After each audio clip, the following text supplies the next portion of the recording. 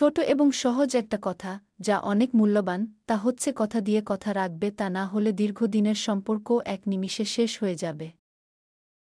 সাথে এটাও মনে রেখো, অবজ্ঞা আর অমূল্যায়নও সম্পর্ক নষ্ট করে।